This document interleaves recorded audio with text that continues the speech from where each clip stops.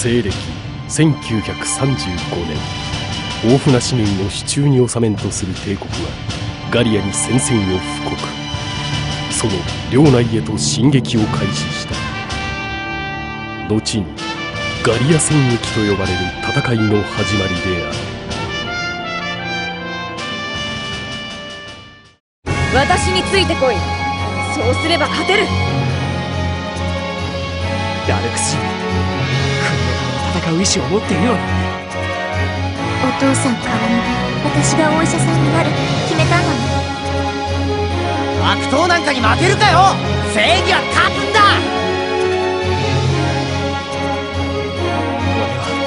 英雄になる。みんなで力を合わせて頑張りましょう。私は戦う意志を貫くものだ。ああ俺はやるぜ